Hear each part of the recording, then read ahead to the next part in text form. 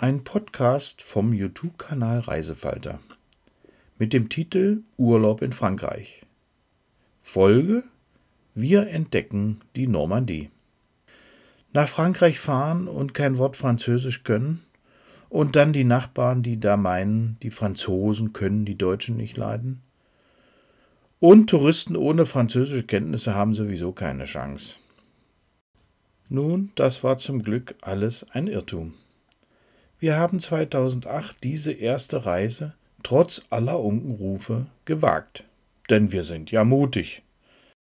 Hallo Camping- und Reisefreunde, ich bin Hanjörg vom YouTube-Kanal Reisefalter.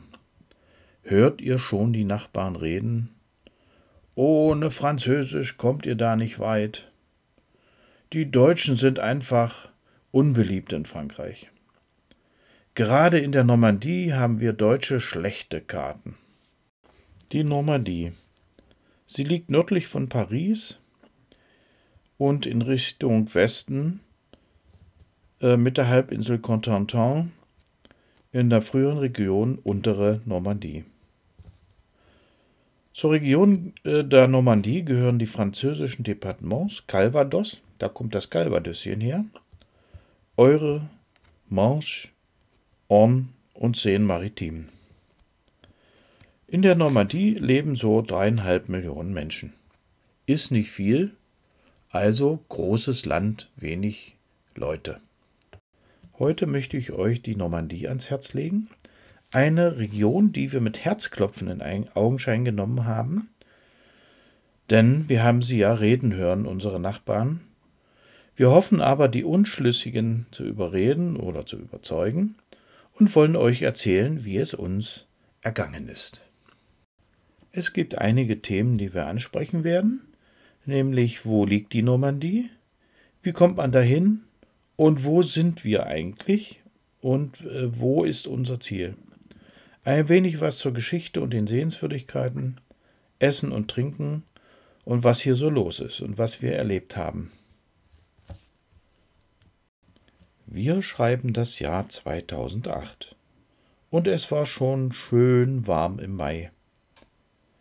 Die Reiseplanung war schon etwas angenehmer und einfacher als in den Jahren davor.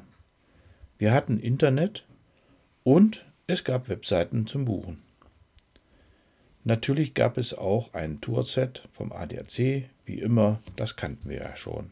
Das haben wir uns kommen lassen und konnten notfalls mit der Karte fahren. Welch ein technischer Fortschritt. Durch meine Arbeit stand mir ein Pocket-PC zur Verfügung. Es war kein Laptop oder Notebook, aber es war ein kleiner PC, na, da würde man heute schon Handy zu sagen. Es gab auch schon Navigationsprogramme und mein Auto und der kleine PC hatten dafür auch eine GPS-Antenne. Das Kartenmaterial war dafür leider noch nicht so weit. Das fing gerade erst alles an. Und so schön wie heute hatten wir es dann nicht. Die Karte ging nur bis Lille. Danach war nix vorhanden. Und so sah dann unsere Reiseplanung auch aus. Unser schnuckliges Ferienhäuschen konnten wir zu Hause buchen. Über Fevo direkt. Dort gibt man die Boulangerie ein und den Ort Bressy und schon erscheint so ein hübsches Häuschen, so richtig was für uns beide. Ich habe hier mal die Koordinaten 48,70535 Grad Nord und minus 1,14141 Ost. Also hinter dem Nullmeridian von Greenwich. Und der wird auch auf der Autobahn angezeigt. Bei der Buchung bekommt man dann ein Bestätigungsmail mit einem Schlüsselcode, um dann das kleine Häuschen in Besitz zu nehmen. Von Gesmold über Münster und den Ruhrpott, der noch richtig Ruhrpott war, das stank jämmerlich, nach Lille in Frankreich. Dort sollten wir in einem Hotel übernachten, das wir natürlich auch online gebucht haben. Der Besuch von Lille stand auf dem Programm, um dann weiterzufahren. Französisch konnten wir auch noch nicht plappern, also durchkämpfen mit dem Wörterbuch. Die Übersetzer waren auch noch nicht so gut wie heute. Es hat aber schon funktioniert. Denn auch Englisch ist in Frankreich eine Alternative. Das liegt wohl daran, dass hier die Briten mal regiert haben. Und sie finden es offensichtlich hier sehr schön, denn unser Häuschen war im britischen Besitz. Nun eine Hürde weniger. Es geht also auch nicht nur mit Französisch. Durch die Nähe zum Ärmelkanal und Großbritannien ist das hier in der Normandie überhaupt kein Problem. Also keine Angst bei der Kommunikation. So, nun sollten es alle wissen. Die Normandie liegt im Norden Frankreichs. Am Ärmelkanal. Ebbe und Flut sind hier gewaltig und ein sehr interessantes Schauspiel. Wir fahren mit GPS-Unterstützung nach Lille ins Hotel. Das waren nur 470 Kilometer. Natürlich bekommt man einen Code für den Schlüssel, um das Zimmer in Beschlag zu nehmen. Also alles digital und dann hatten wir einen Schlüssel. Unser erster Kontakt mit Menschen hier in Lille beim Einkaufen. Irgendwie bekommt man das alles raus, was man braucht, und wir hatten die Produkte, die wir haben wollten. Alles überhaupt kein Problem. Nun ein wenig zur Mentalität. An der Kassenschlange ging es nämlich gemütlich zu, mit Schwätzchen und so weiter, und die Franzosen haben lange die Ruhe weg und mögen keine Hektik. Das gefiel uns auch schon. Wir haben Lille in sehr guter Erinnerung, denn als wir zurückkamen, war der Film von den Sties auf Deutsch draußen. Den haben wir uns im Kino in Osnabrück mit einem Gläschen Wein angesehen, und das war unheimlich lustig, gemeinsam lacht es sich wesentlich besser. Nun ging es weiter, ohne Navi und nur mit dem Tourset und Karte. Meine bessere Hälfte hat hier schwer arbeiten müssen als Navigator. Wer es etwas eiliger hat, der nimmt lieber die Maut in Anspruch, sonst dauert das ein wenig länger. Die Straßen oder die Autobahnen mit Maut sind sehr gut gepflegt, da können wir uns eine Scheibe von abschneiden. Ja, wie geht's halt weiter? Das übliche eben, die Straßen- und Städtenamen so gesprochen wie geschrieben. Das macht jedes Navi heute auch so und ist dann schon mal etwas Lustiges, wenn man dann doch schon ein bisschen Französisch gehört hat und die Straßennamen und die Städte auch dann in Französisch kennt. Die Autobahn führt so über etliche Hügel mit enormer Steigung. Dann kommt die Pont de Normandie, eine gigantische Hängebrücke, die wir inzwischen mit Leidenschaft besuchen. Dahinter ist das Hafenstädtchen Honfleur mit einem kleinen Hafen, der zum Verweilen einlädt. Hier sollte man sich etwas Zeit lassen, denn die Reise ist ja ein bisschen beschwerlich. Danach kommen schon exklusive Badeorte mit dem Atlantikflair. Dann fahren wir über den Nullmeridian, der hier wirklich ausgeschildert ist, und die Koordinaten zählen bei East ins Negative. Wer mit seinem Gespann nicht so schnell ist, kann bei den großen Steigungen die Langsamfahrspur benutzen und muss sich nicht wieder einordnen, denn es geht einfach geradeaus weiter und die anderen müssen sich einordnen. Kurz vor Affange verlassen wir die Autobahn und fahren nach Bressy, einem sehr schönen kleinen Städtchen. Hier gibt es auch Märkte, auch in der Umgebung ging es Märkte, die haben wir alle besucht.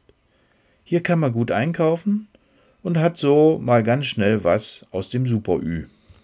Ja, in diesem kleinen Städtchen ist auch was los. Hier findet regelmäßig das Open-Air-Fest Papillon de Noir statt. Wir haben die Dachluken im Ferienhäuschen offen gelassen und hatten so ein super Konzert. Es geht also am Campingplatz vorbei, den wir später auf der Rückreise aus der Vendée benutzt haben, auf zur Boulangerie. Ja, ihr wisst ja, der Schlüssel liegt in einem kleinen Kästchen bereit und ihr habt den Code bekommen bei eurer Anmeldung. Euch begrüßen, zumindest im Mai, blühende Apfelbäume und versprechen guten Cidre oder Calvados.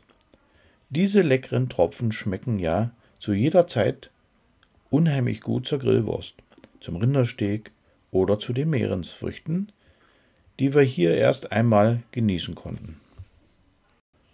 Ja, Meeresfrüchte waren wir nicht so gewohnt.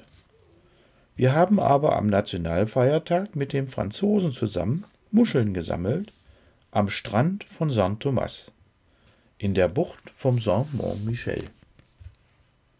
Wir wissen jetzt Bescheid und hatten unsere Instruktionen nicht nur in Französisch und ein bisschen in Deutsch, nein auch ein bisschen in Englisch.